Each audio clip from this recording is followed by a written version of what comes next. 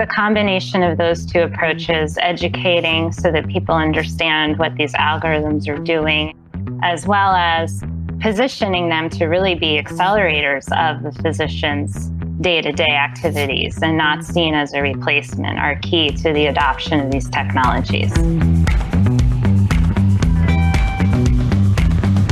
Welcome to the Data Chief. The Data Chief is a podcast for data and analytics leaders to share their personal stories and insights on technology, culture, and leadership. Today's guest is Dr. Dana E. Rollison, Vice President, Chief Data Officer, and Associate Center Director of Data Science at Moffitt Cancer Center. Dana has been with Moffitt for over 16 years, and while her roles have changed over the years, her mission has always remained the same to help prevent and find a cure for cancer. Today, Dana leverages her dual role as CDO and ACD to help accelerate scientific discovery through data in pursuit of this worthy mission. On this episode, Dana joins Cindi to discuss the research going on at Moffitt and what makes their cancer center unique. Dana also shares her win win approach to data collection and how she integrates data into every step of the research process. The Data Chief is presented by our friends at ThoughtSpot. ThoughtSpot makes it easy for you to use search and AI to analyze your company's data, lightning fast. Business people at companies like Walmart, Hulu, and 7 Eleven use ThoughtSpot to quickly uncover new insights and turn them into action. And you can too. Learn more at ThoughtSpot.com. This week on The Data Chief, I'm so excited to introduce you to and somebody I'm meeting for the first time, Dana Rollison from Tampa. Welcome, Dana. Thank you, Cindi. It's great to meet you as well. Excellent. So tell us a little bit about the Moffitt Center for those who are not familiar with it. So, Moffitt Cancer Center is the only National Cancer Institute designated comprehensive cancer center in the state of Florida. We are a care and research facility. So it has a very interesting history that I'm, I'm really proud to talk about because it's inspiring and it in, inspires the work that I do as, as well as my colleagues. H. Lee Moffitt was actually the Speaker of the House for the Florida legislature. And in the early 80s, he had three very dear friends of his contract cancer and actually pass away from cancer in a very close time period. And unfortunately, at the time, there was no research institute offering cutting edge cancer clinical trials in the state of Florida. And this was a travesty because Florida is the third most populous state in the United States. So, how could we not have a facility to treat cancer? And his friends had to leave the state for their treatment. So, he actually had put into state legislature that our research institute and hospital should be the state's cancer center. 30 plus years later, is very involved with the Cancer Center. And we have a singular mission to prevent and cure cancer. And our focus is on that every single day. We have an inpatient facility that treats, uh, obviously, cancer inpatients. We have an outpatient clinic, both uh, on our main campus, which is on the University of South Florida campus in Tampa, as well as several satellite locations. We have a partnership with Advent Health. And then we have a research institute, which I mentioned is National Cancer Institute designated. It covers uh, uh, research from the basic sciences through the clinical sciences, through the population sciences, and the quantitative sciences. And our niche is translational research. So we're conducting research that can benefit our patients and that can be immediately translated into improving care and outcomes. That's awesome. So prevent but also cure and improve care. And so this is one of our connections that I only discovered uh, today that you also serve on the data governance committee for CancerLinQ. Is that right? I I I did for many years. I believe that committee disbanded in its old format, um, but I was on that committee for several years. Yes. Okay, so CancerLinQ is one of my favorite. It's a ThoughtSpot customer, and I just love anything related to data for good. Mm-hmm. And that is a huge undertaking to try to bring data from different cancer centers together with the goal of care. So, um, absolutely, and and quality as well. Quality benchmarking and ensuring that it's not just the top performing academic medical centers that are delivering high quality care, but that that that care is being disseminated into the community so that everyone has access to high quality cancer care. For sure. So we'll talk about care and you, you made an interesting comment that uh, with with another connection, a, a, panel that you were on with one of my colleagues in the industry, the Caserta Group, and you talked about how patient outcomes are what matter at the end, and that really healthcare leaders need to invest in their data now in order to see success in the future. That was 2019. Here we are, 2020 we're having a lot of challenges around healthcare and care as it relates to COVID in general. Did we invest too little too late, or what are your thoughts related to this? I, I think that we are on the right path toward investing in data. The challenges specifically related to cancer and data are that the way we document how patients are doing with their disease in the electronic medical records is fairly complicated compared to how we may document how someone with diabetes or heart disease is doing. Uh, those types of chronic illnesses can be more easily tracked through laboratory measurements that are more easily aggregated across different centers. So, some of the efforts to harmonize capturing of data across medical records and sharing data through health information exchanges, I think has gone a long way toward improving outcomes with those chronic illnesses. Cancer is a little more complicated. It often involves imaging tests or other circulating biomarkers. It's very disease specific and so it's more difficult to exchange information across centers and to actually leverage the data that we capture as part of taking care of patients for research and discovery. So I think initiatives like the CancerLinQ that you mentioned and others that are working towards standardizing how we collect cancer data so that we can truly learn from each other's experiences and improve outcomes is is a work in progress and something we should definitely continue to advance. There are aspects of outcomes in cancer that I think are untapped and I'd like to see progress in these areas accelerated and that's around patient reported outcomes. So we all know that cancer treatment itself can be toxic and has side effects and we want to make sure that we're offering patients a clear understanding of the treatment choices, not just in terms of improving survival, but also the impacts on quality of life. And the more broadly we can be capturing patient reported quality of life, doing it in a standardized way that we can aggregate then across centers, the more we'll learn about the true impacts of the treatments on quality of life and be able to educate patients as to the trade offs between sometimes survival and quality of life as they're making these treatment decisions. Yeah, absolutely. So there's two things there that I'd like to explore. One, you said the imaging, and I understand that you recently designated or, or hired somebody in, in charge of AI so that you can better leverage the imaging here. Is are are you finding that the doctors trust the AI, or how are you facilitating the building of that trust of how to use AI plus the human? Mm-hmm. Yeah, that it's a very interesting area to, to talk about, both in terms of technology as well as human nature, right? And and Ross Mitchell, who is our AI officer that that we hired about a year and a half ago, thinks a lot about this. And it, it's not just how accurate the the algorithm is, but also how well the physicians understand it. They're less likely to trust a black box um, if they understand what's behind the black box, then they may be more inclined to use it.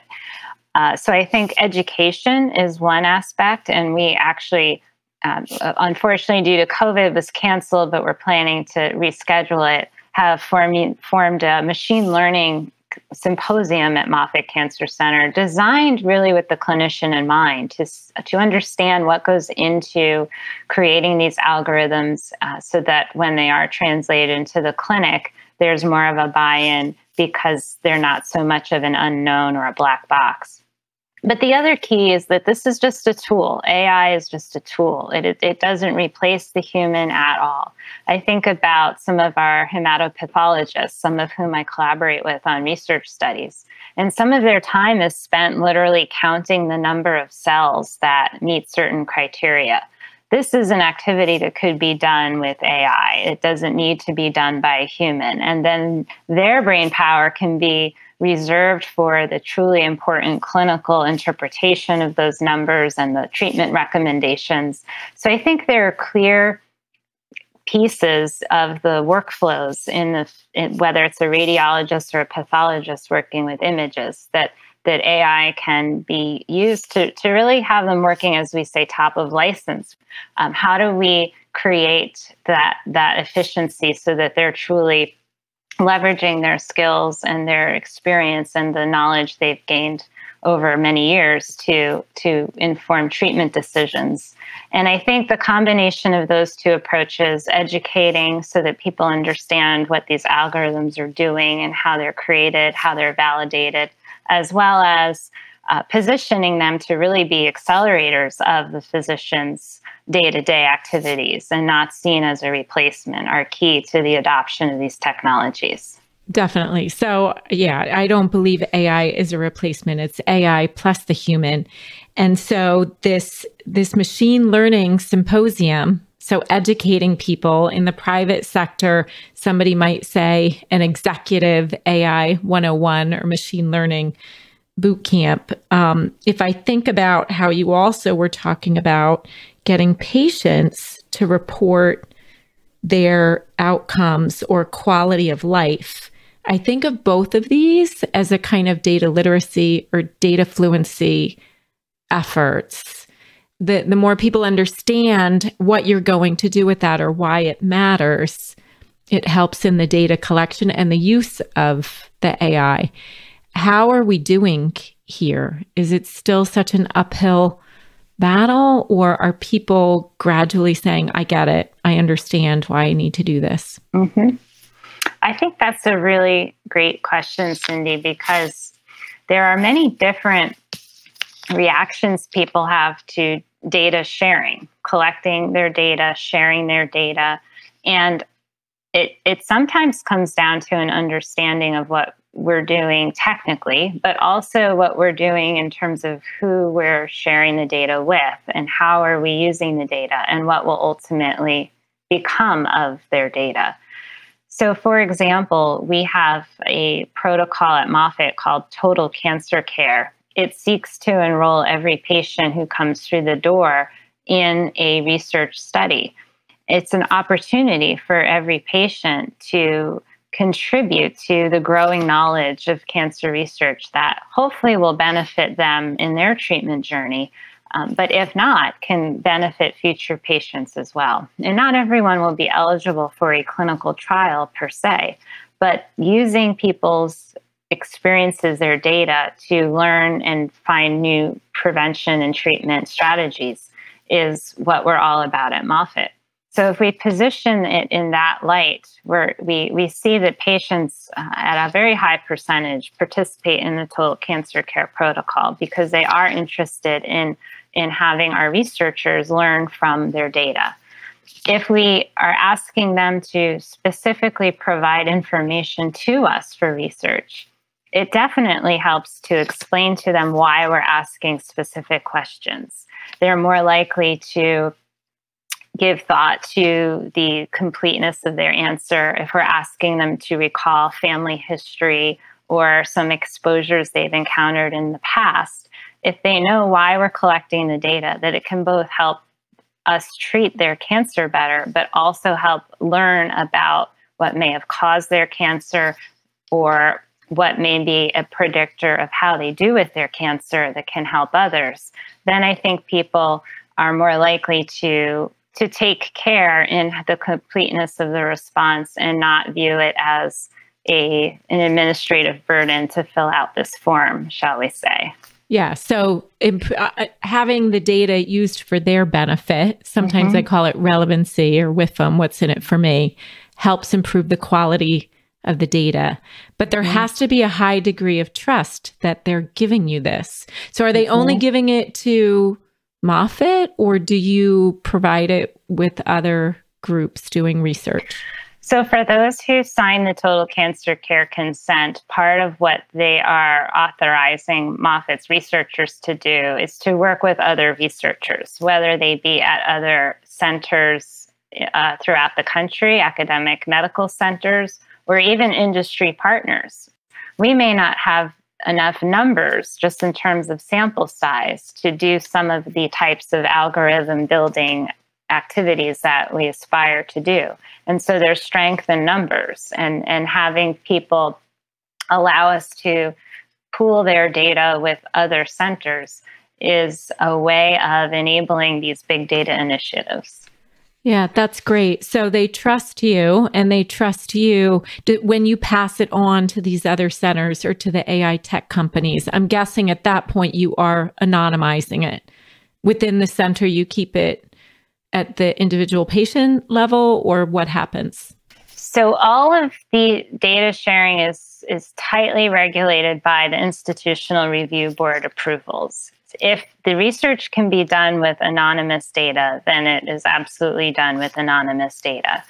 There are certain research questions where you might want to contact patients to get patient reported outcomes. That makes sense. And I think this is where we've had such challenges as it relates to healthcare data. I, I look at um, in the UK, for example, they've had two failed attempts now on their second attempt care, care to, to get to um, a common medical database. In the US, we've never even attempted it again because of fear of privacy in Australia, they tried it once and realized that some of the records were not adequately anonymized or de identified. It's challenging. I, I just find that a little bit frustrating that the researchers who are, are truly trying to use these data to better our war on cancer are running up against more barriers than other industries do around using data for generating profits. So I think it's an interesting sociological question. And I do understand, uh, obviously, concerns around privacy. You don't want the data used for discrimination. There's concerns around insurance companies getting hands on those data. Uh, but at the same time, it is true that more and more of our data are shared with without our our, our knowledge.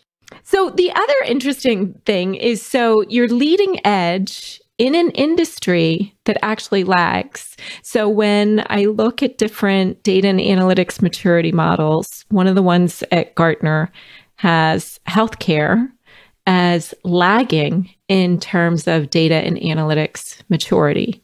And yet the Moffitt Center seems to be leading here. How have you made that happen? And and I do see you've been there for a long time. Is that part of the secret to success in having an impact with data?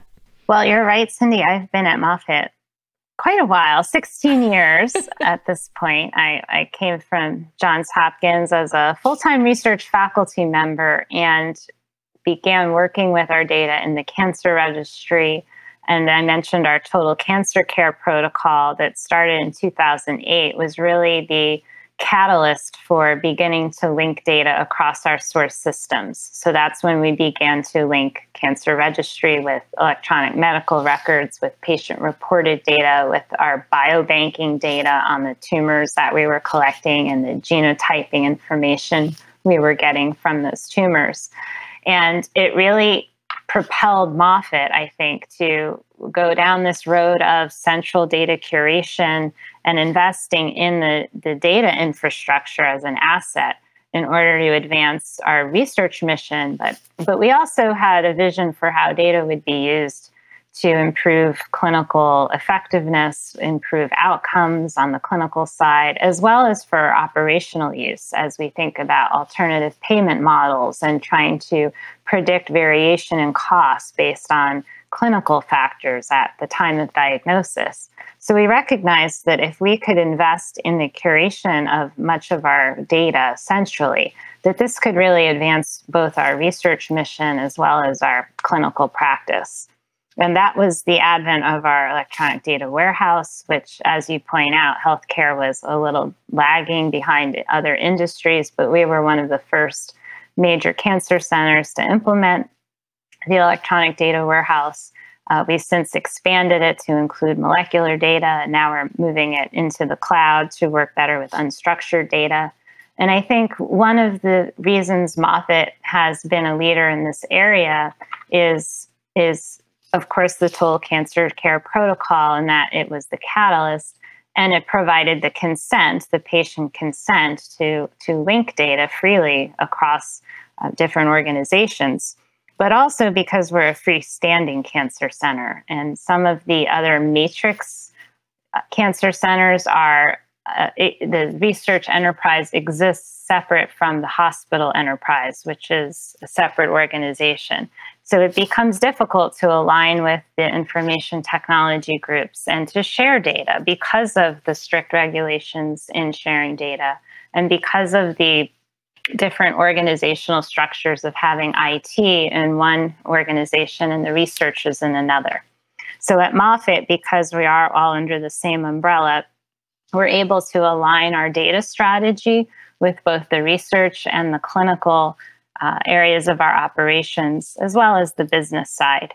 And so, my dual role as Chief Data Officer and Associate Center Director of Data Science allows us to leverage our investment across the institution in data to further the research mission and the translation back into the clinic. So, being integrated and also that you so your your original training so here was our other connection um, go canes. Oh okay. You. Not with me my daughter many football games. Oh wonderful yes but you're so having coming from the field not of data but as a um, epidemiologist and bio- i can't even pronounce the word you're going to have to pronounce it for me how do you say virologist mm-hmm. Virologist, yes. Thank you. You have the background, you have the domain expertise to know how data can be brought to bear on a problem. Um, do you think that helped that as you're trying to sell the use of data to people that are really most concerned about patient outcomes, that that helped you be at the forefront in terms of data in healthcare? I definitely think my epidemiologic training was a big advantage for me coming into this field of big data, if you will. And that's because epidemiology is, by definition, observational research. We take data that exist and draw inferences from it. Sometimes we're collecting data specifically for a study, but often we're leveraging secondary data for analysis. That's what we're trained to do.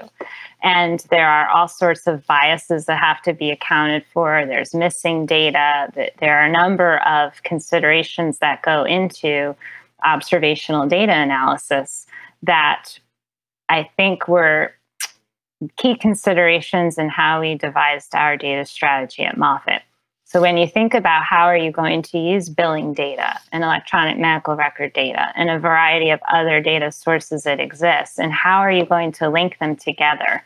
And what pockets of data would be missing? And who are you inadvertently excluding because you don't have complete data on everyone? And how then do the inferences you draw from your results impact patients that weren't included? Or how are your results potentially biased by the people who were included by virtue of the fact that you had the data available for them? Those are the types of questions that an epidemiologist is trained to think of that may not be something who has more uh, technical training thinks of. And that's why when I was asked to serve as the chief data officer and, and work alongside Mark Hulse, who was the chief information officer at the time at Moffitt, is now the chief digital officer at City of Hope. It was really a, a, tag team approach. We felt like we were partners in crime. He brought the information technology expertise, and I brought the observational study, the epidemiologic expertise, really the big data analysis expertise, I would say. And together we built a system that met the needs of the research community as well as the clinical community and then c- continued to build on that. So, a tag team approach is wonderful. I think everyone wants that. They hope for that. Mm-hmm. They work for that, and it falls apart. so, what advice would you give somebody who's a CDO in any sector if they're struggling to work with IT, or even somebody from the business who just knows that data can be brought to bear on a problem and yet they can't connect the technical dots to make that happen? So, that is a common problem, Cindi. I think that, and this is also another way in which my training as an epidemiologist comes into play. It's it's what we call a team science approach in the research world. Nobody has all of the knowledge or expertise to tackle a complex problem. It's those who can bring together the group of experts to tackle that problem that are going to be successful. So you have to know a little bit about all of those areas you're trying to bring together, enough to speak the language of those different team members and to relate to them about what it is you're trying to do and what role you think they can play, the value they bring to the table. And if you get people excited about the common goal you're working toward and they see how their contribution is unique and valued, then you're more likely to get their buy in. When it comes to specific team members, whether they're in IT or on the business side, I think one challenge we run across is is priorities. You may be working with someone in IT who has a different priority and they don't have the resources necessarily to work on which you'd like them to work on. So there the key is to to work and, and this is uh, takes some time and relationship building, but to work on common priorities. Is there a way that you can build toward a common goal that will benefit both areas. And finding quick wins, if you will, will also help bring along the business side. So, how can you leverage data to address a, a key question of per, potentially identifying some cost savings or improving some outcomes or making a day to day activity a little bit easier because you've automated a process or you've pres- provided a dashboard that lends visibility into data that they didn't have before. And if you can identify those those projects or initiatives that have a clear ROI for those business constituents and can also help maybe build an infrastructure that is common across the data and the IT enterprise, then it behooves everybody to come together and collaborate and to build on the resources uh, that will benefit all three teams moving into the future. So it's it's not easy. A lot of it's leading through influence. Uh, we throw that term out all the time, but I, I've never had a big team myself. I've always relied on collaboration with our IT partners, with my research partners, with my clinical partners, and I think that's actually what makes my job so rewarding. Is when you can bring the team into a room, you can show the vision of what we're trying to do as a team, articulate what each person brings to the table, how it really does align with their day to day work and their own priorities, and create something that none of the individual teams could ever have done on their own. That's when the magic happens. Yeah, that's great. So, you also mentioned cloud. You're moving to cloud. And given the challenges of 2020 and that we see data and analytics is so important um, for economic recovery, for just speed to insight. And yet, many organizations are risk averse when it comes to data in the cloud, particularly in healthcare. What are your thoughts on this? It's true we're risk averse, and, and that is because we're so heavily regulated as an industry. Uh, also, the, the public perception comes into play. We've seen some cloud based, even health research initiatives in the paper because of the public reacting and how the data were being used, how the patient's data were being used. Even if there is nothing illegal being done. There is a public perception issue. And I think that has been a challenge about sharing data in the cloud as much as the regulatory aspects themselves. So you want to be very careful again about how you're using the patient data, communicating to the patients how you're using their data. If you don't have a supercomputing center uh, that can cost millions of dollars in capital, the cloud is a good option. Now, that said, you have to have all of the assurances in place. It puts a lot more responsibility on the individual center to maintain all of the security of the data because so many of the configuration options are in your control. Uh, but having the IT folks on board who are familiar with cloud and having a compliance office involved every step of the way and the auditing internal auditing group can ensure that you roll it out in a way that is perfectly safe in terms of data privacy and security. So the security is there. You get the benefit of more compute, agility. Mm-hmm. Do you think cloud is more expensive or just differently expensive? And how do you control cloud costs for that really powerful AI algorithm that's going to do the better image processing? That's a great question that I don't have the answer to just yet because we haven't fully moved to the cloud to be able to directly compare costs. In some scenarios, it may actually be more expensive. I will say the other benefit for us for moving to the cloud that's a little bit specific to our, our use case is that our EMR vendor, our electronic medical record vendor, is rebuilding their infrastructure using a particular cloud vendor's technology. And having the compute close to the data may actually have some technical advantages, particularly when we're working with medical images and text from the electronic medical record, and we're seeking to bring results from the algorithms back into the point of care. So that was another consideration for us. So, when you talk about bringing results data back to the point of care, somebody in healthcare said to me, Yeah, at the point of care, people prefer to wait a long time and look at peer reviewed scholarly articles rather than getting data, maybe the near real time, what treatment worked better for this particular type of cancer. How do we change the thinking at the point of care to better leverage data? Well, I think that evidence based care is certainly very important. We want to make sure there's evidence behind the treatments that we're prescribing. Where I see analytics pushing the envelope uh, is twofold. One, in better processing the data that we're capturing from the patient so that the clinician can see the data in a new way and be able to better prescribe that evidence based care.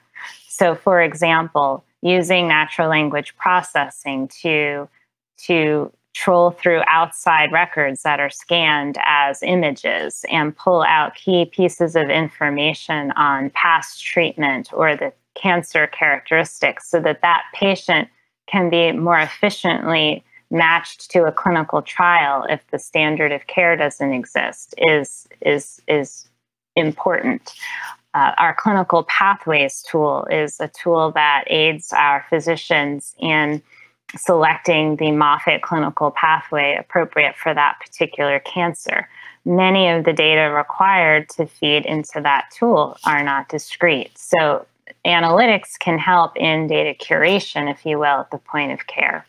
And to your point, sometimes the information on our past patients can be used to inform treatment on our current patients when there is no literature to consult. So, for example, we have a clinical genomics action committee that looks at the sequencing results from a cancer patient's tumor. And if the cancer patients have failed conventional therapy and are on their fourth or fifth line of treatment and really have no treatment options left, there can be utility in looking at the different signaling pathways or mutations that are active in the tumor and seeing if other patients in our Moffitt history have had similar mutations, maybe in a different cancer. And if so, did a particular drug work for that patient? Because that could be a clue for what could work for this patient. And that's sort of a almost a last resort, if you will, but having those data available to us through hundreds of thousands of patients may provide that glimmer of hope for the patient uh, sitting in front of us today. Mm, that's fascinating. So, pivoting a bit, you were one of the first CDOs in healthcare, actually in the data and analytics industry, so this is going back to 2011, I believe. Is that right? Mm-hmm. Yes. So how did who did you compare notes with or how how do you keep abreast of everything how much do you stay in the healthcare uh, network of cdos or do you look to other industries for inspiration that's a great question Cindi when i took the role we initially titled it a chief health information officer. So for a few years, I was the CHIO, is what they called me. And it was interesting because I would go to various meetings and say I'm the chief health information officer, and people would immediately assume I, I was in IT. And so I would say, well, I no, I'm not. I'm not in IT. I'm actually trained as an epidemiologist, I think about how we can link data together to inform analyses and decision making and cross check populations. And, you know, I could go on and on and on, and they'd look at me like, okay, um, yeah, that's not what I thought you did based on your title. And so I used to then just abbreviate it and say, well, I'm, I'm, the chief health information officer, but I, I'm not in IT. I think about data. I'm all about data. And then eventually I just thought, well, why not change it to chief data officer rather than chief health information officer? And at the time, we also brought in a chief medical information officer, which we had not had before. So we had a CMIO and a CHIO and a CIO, and thought, okay, we need we need to change this up. And so um, the the title was changed to chief data officer, but it was also based on the recognition that increasingly the role was about data governance as much it was, as it was about the information architecture for our enterprise data warehouse. And so, not only who has access to data, back to some of our previous discussion points, but also how do we collect data? How do we standardize the collection of data? How do we put governance in place for what smoking field we're going to define as the single source of truth across the center, even though we capture it in five different ways in five different systems. So increasingly, the, the role grow, grew into data governance as much as information architecture. And you know, the industry was changing all throughout as well. So to, to your question about who did I look to, it wasn't a specific person, but rather just participating in different circles to understand you know, what did a chief health information officer or chief data officer do at, at these other organizations? How is that similar or different to my role? What were they looking to advance on the research side versus the clinical side? Because again, our organization's fairly unique in its structure that we have both. So I, I go to research meetings. There's a uh, certainly American Association for Cancer Research or American Society for Clinical Oncology that, of course, CancerLinQ grew out of ASCO, as well as there's a Cancer Informatics for Cancer Centers group that is my peers in terms of research information officers. And then I actually, it was about two years ago that I struck outside of the, the cancer community and went to my first chief data and analytics officer exchange. That's actually where I met Joe Caserta. And I went outside of the cancer community because I wanted to understand where the puck was going in terms of handling unstructured data and where did we need to take our electronic data warehouse into the future and you know, that's where i learned more about some of the, the cloud-based models that other industries were leveraging as well as how to set up the advanced analytics and the ai ml programs to show quick wins if you will for the business side and demonstrate value for the analytics organization overall. So I found that to be very helpful in strategizing long term about where we were going, especially since, as you say, healthcare is behind the other industries. So I think looking to the other industries is important. But then, of course, because healthcare is unique and, and research, uh, even within that, uh, continuing to network in my, amongst my peers in those settings is equally important. Yeah, I think it's important to look in your industry, but also outside for inspiration what wor- works, what doesn't work. You just mentioned data governance. You've mentioned it a few times, and yet some people, you use that word, it's almost like a bad word because it's so important, but nobody really wants to own it. Ha- and you talk about an example with capturing smoking. Are you a smoker or aren't you a smoker? And it exists in so many different places, and yet it's a really important attribute.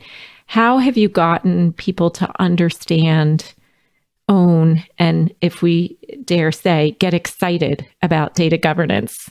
Well, at, at Moffitt data governance, and I think in other places as well, is quite a distributed process. So there are data owners, if you will, in different areas of the organization. Sometimes those are defined by uh, functional areas, sometimes defined by the actual source systems that they control.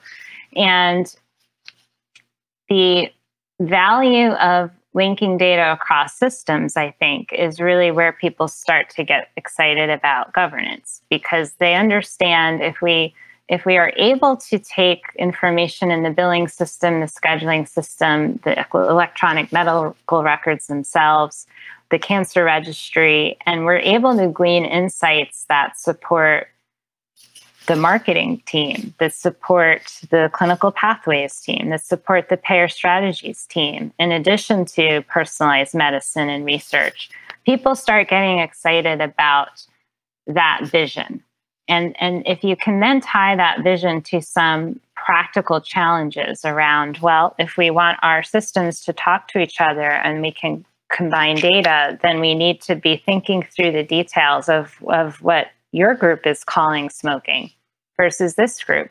And often those requirements are driven by external factors. They're they're needing to report out to a regulatory body in the cancer registry case, or we're limited to the permissible values that this particular software platform has out of the box. And so if you start to understand why people collect data the certain way and then engage them in a dialogue about ideally if if you weren't constrained by those factors how would you collect it or how are you using those data? Uh, then they get more excited about the possibility of of having their own data linked with other systems.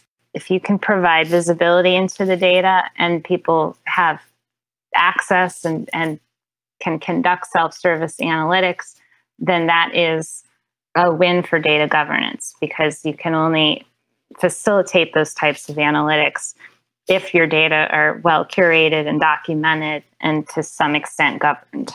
Yeah, and if they know know the value. So in our last two minutes, I'm going to totally pivot um, to some fun things. Okay. Uh, so I understand you're a runner, Dana.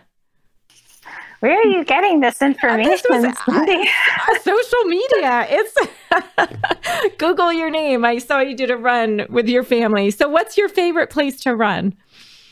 Okay, so the reason you, you, Google my name and and all this running stuff comes up is because we have a, a a 5K. Actually, there's a 10K as well. It's a fundraising event for Moffitt Cancer Center called Miles for Moffitt, and I am the chair of the or the co. Uh, what do we call it? The captain of the Data Dashers team, which is a long-standing team. I bring my family every year. They know that it's very important to participate. And we really rally around the Data Dashers team. I've been participating in Miles for Moffitt annually for since its inception, you know, going back more than 10 years. So all of those pictures you see of me are at the Miles for Moffitt event. I usually don't actually run it. I usually walk it. Truth be told, I register as a runner in case I want the option of running but I usually end up walking with my daughter. no, that's great. Walk, run. I'm going to have to send you a few of my cancer runs one for St. Jude's and one for um, some of the 9 11 survivors. Oh, um, that's great. But so I, I do.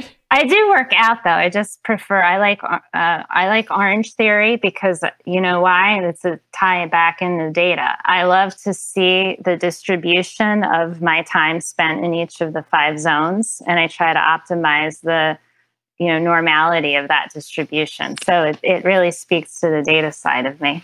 Okay well now i'm really scared because i don't even know what orange theory is. Oh okay. Mixing it up or? No it's a it's a, a chain of gyms but they you ah. you wear a heart rate monitor and you monitor your heart rate in real time. So talk about real time analytics. You can figure out how long you're spending in each of the five heart rate zones and and one of the stated goals is to have a fairly normal distribution. I actually kidded with them about building in a test for normality into their app, but I, I don't think it would have broad appeal. okay so that's fascinating i even i gave my fitbit away because i'm like i don't want to be i don't want to be tracked i i run enough i work enough but i don't want too much data um so one of the other things that I I like to ask people about, you know, we have so much to be grateful for and we often think of just the routine answers, but if you think beyond the traditional answers, the canned answer, what are you most grateful for? Uh, well, yes. What I've been thinking about that a lot lately in quarantine, you know, and and I think um, my answers are the same. That they're just emphasized after the experience of the last six weeks. Um, one would be family. I'm most grateful for my family and getting to spend time with them in quarantine. You know, you keep reminding yourself that this is, I have a almost 14 year old daughter, and you know, this is a wonderful opportunity to spend more time with her than she probably wants. But it, in four years, I won't be able to. So, uh, grateful for, for my family and and grateful for the work that I do. Um, you know, that sounds cheesy, but I'm very passionate about our mission at Moffitt. Uh, my own mother passed away when she was only 49 of cancer after battling it for over 20 years. I'm it's, sorry. It's a uh, yeah. well, you know, thank you. It, but she's my inspiration. She's what why I do what I do every day. And honestly, when I leave my office and I walk past the long line of valet parking attendants or people waiting to pick up their car at the at the valet parking attendant, I I think I, I, look at the patients and their family members, and I'm immediately brought back to what it felt like when I was visiting my mother or she was going through her care. And, and it was already uh, 20 years ago that we lost her, and yet that those those feelings and those memories um, are still very fresh and poignant. And that's and that's what we do, and it's palpable when you come to Moffitt and you visit uh, our, our employees, our team members, everyone is there because we believe in our mission. So I'm so grateful to be at a place where we are mission driven, and I'm blessed to work with so many wonderful people in the clinical research and administrative areas on, on advancing our mission. And so uh, I would say those are the two main things I'm grateful for uh, at this time. Thank you for the work you do, Dana. Thank you, Cindi. I appreciate it. And it's yeah. been delightful. Thank you for tuning in to another episode of The Data Chief. To learn more about today's guest, recommend a future guest, or listen to more of the show, head over to thedatachief.com. If you have questions for Cindi or comments about the episode, give her a shout on Twitter at BI Scorecard. The Data Chief is brought to you by our friends at ThoughtSpot. Searching through your company's data for insights doesn't have to be complicated. ThoughtSpot makes it easy with ThoughtSpot, anyone in your organization can easily answer their own data questions, find facts, and make better, faster decisions. Learn more at ThoughtSpot.com.